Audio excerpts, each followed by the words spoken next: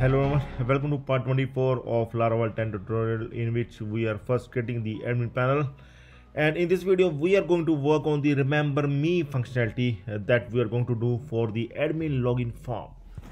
Okay so uh, here we can see that remember me uh, checkbox is already there in our admin login form okay? So uh, this checkbox we can add in any form uh, where we want to log in. Even it is at the front or in admin. So the functionality that we are going to do can work in any form okay? Uh, so uh, here i want to tell you that we are going to use the cookies uh, for this remember me functionality.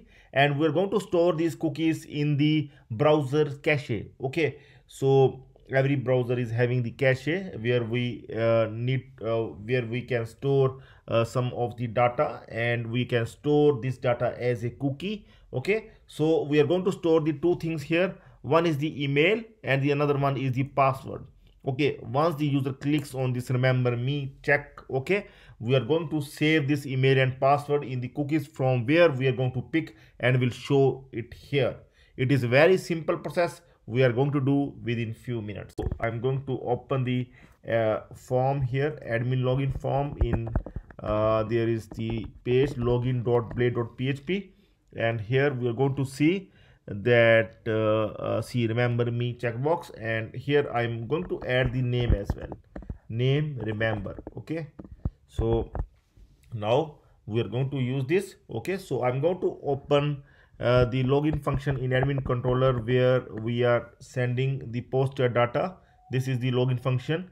And here we are getting the data in the post method you can see. And here once uh, the email and password is correct then we are going to save the email and password if these are correct. Otherwise we are not going to store because that is the invalid credentials.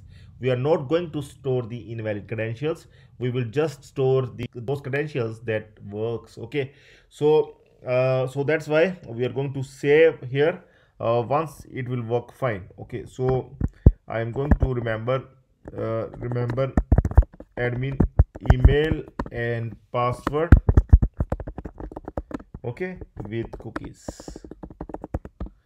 So here uh, we need to check first of all that the data is coming uh, that the remember me checked uh, so what we can do we can just check it here first of all. Like if the user check this one i'm going to refresh it once. And if the user check this one click on sign in then here the remember will uh, is coming as on.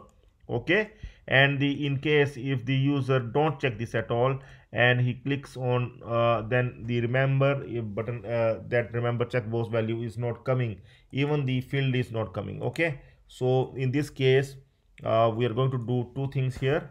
Uh, first of all uh, we will uh, check with the is set is set that the variable is coming okay? So that is dollar data. And remember and the second thing is if the variable is coming then it must not be empty. Okay so that is the second check that it must be not be empty. So once again uh, we are going to check this one. Okay so in uh, if it's uh, fine that remember uh, checkbox is checked then we are going to set cookie. Set cookie here first of all we are going to set the email okay? Email uh, that will come from there dollar data email. And uh, we are going to set it uh, here. We are going to add the time limit okay here, here okay? And the time limit we are going to add here the time okay? So we are going to set it for like 3600 seconds means one hour okay? We are going to remember this uh, email and password for one hour. Okay? If you want to increase the time you can increase here. Okay? Like uh, you can add uh, 7200 for two hours or even more. Okay? That's your wish. Uh, even for one day you can uh, you, you can store it. Okay? So it's your wish. And password as well. We are going to store the password as well in cookie. Set cookie we are going to use for storing the password as well and we will keep it for uh, for one hour as well. Both email and password we are going to store in cookie for one hour okay? So here uh, we uh, if see uh, if the user check then we are going to store. Otherwise uh, if the user not check that uh, then we are going to remove that from the cookie okay? So that we can simply make them empty like for email uh, we can make it empty here email.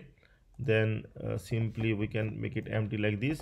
And for password as well we can make it empty as well if in case that uh, is not checked okay? So uh, so one last thing we need to do here uh, that is uh, we will show here the email and password from the cookies if there is the value in cookie then we are going to show it as well in our form okay? So here we are going to uh, add the value. See value will come as uh, like uh, we are going to add the check first of all add the rate of if. And here uh, is set uh, dollar underscore cookie cookie and we are going to check email.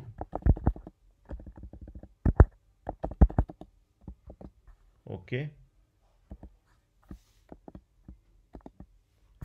Uh, then uh, here in this case we are going to show its value. Okay. Uh, so i'm going to make its value here like this and and if and here i am going to show uh, we can show it like this or cookie email. Okay.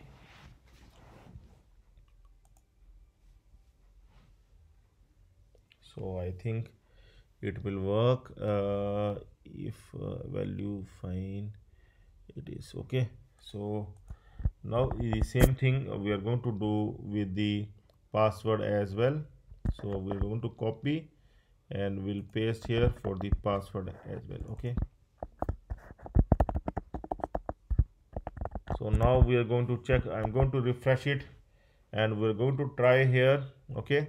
Uh, so we are going to make it empty okay? I'm uh, uh, what i'm going to do i'm going to do that in ignito window okay? So there is uh, no email and password. Here you can see there is no email and password here okay?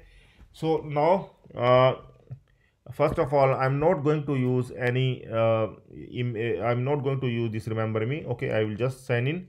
Uh, i'm going to remove that debugging mode. We are going to comment this one okay? So here uh, we will redirect to the dashboard okay? So uh, i'm going to sign out uh, from here now and you can see uh, see email and password is not stored. Even you can uh, see you can check in and you can check out as well but the email and password is not secure is not stored here. Now we want to store. Like i have filled the details. Here I click on remember me. And now I'm going to click on sign in. Okay? So we sign in and I'm going to log out. And now it must be filled. And you can see it is already filled here. Okay so it is already filled here in the ignito window. Otherwise it is not filled earlier. You can see remember me is now working fine. So remember me just remembers uh, this admin uh, uh, see admin email as well as the password. Okay we can also do one more thing here. Like if uh, it uh, the value is coming then we can uh, pre-fill this checked like uh, this one. And then uh, we can check.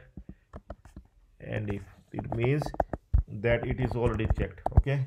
See it checks the remember me. It seems that the remember me yeah, the user clicks on remember me that's why. So if i will uncheck this one click on sign in okay? So now this time uh, it will not get sign in value. So now we have unchecked that. Now it must not work. Let's see see here it is gone away. Okay? So once again i'm going to use like this one. Remember me check. Now this time it will not go. Next time when you log out it it keeps it there. Okay? See here it keeps it there along with the remember me check. Okay? So i hope that the functionality is very much clear to you. And you can apply this uh, in any login form. Not only to admin login form you can apply this to any login form whether it is uh, user login or some other login okay? It, this remember me will work with any login form. So you can try this at your end and if you will find any trouble you can surely contact me. And always join and subscribe the channel. You can simply uh, subscribe the channel uh, by opening this youtube.com stack developers uh, you can uh, subscribe the channel for more laravel updates. We will keep on adding more videos on laravel latest videos on laravel okay? And you can always join the channel for getting the complete source code whatever we have done so far. So admin is almost complete uh, maybe one two uh, videos more. Then we are going to work on particular website uh, some particular website up till now whatever we have done for our admin panel uh, you can make this admin panel for any website okay?